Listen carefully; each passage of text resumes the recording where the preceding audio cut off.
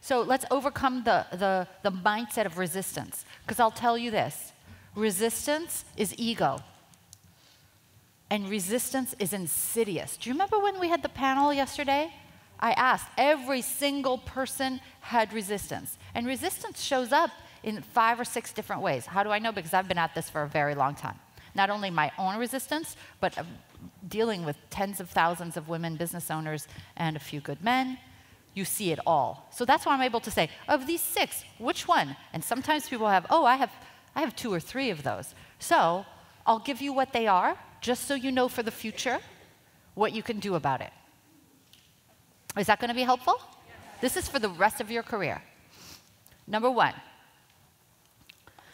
Yeah, so this is the resistance to taking decisive action, okay? Number one, analysis paralysis, perfection paralysis, and logistics paralysis. Just, just, just put paralysis. but you'll know what I mean. They're slightly different, but it's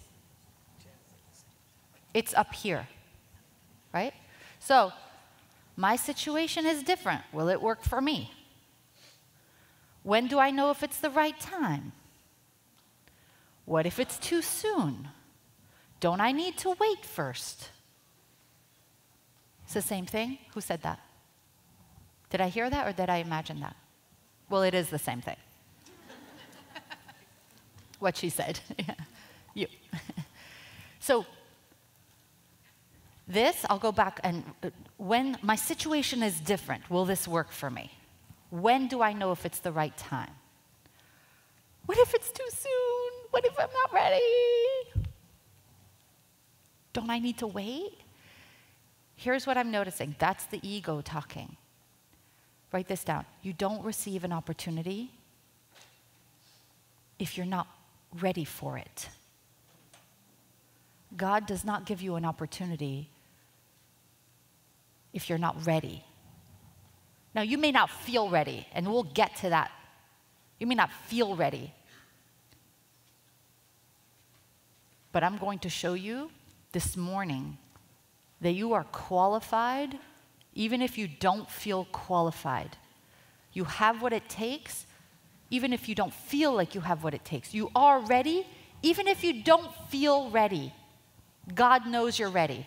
The universe has heard you, checked out your vibration and your heart, and you wouldn't have gotten that opportunity, whatever it is, if you weren't ready. So, and this has been true in my life a thousand times. Notice how you have previously stopped yourself by overthinking something you've asked for. So just open up your journal and just, just for one minute, Dan, one minute, I just want you to write what, what have you previously stopped your progress on because you overthought? Is it over? Because of overthinking the thing that you asked for. Go for it. So, I've been tempted to beat myself up in the past for things I overthought. I was in analysis paralysis about, and I have compassion for myself. Okay, it's all right.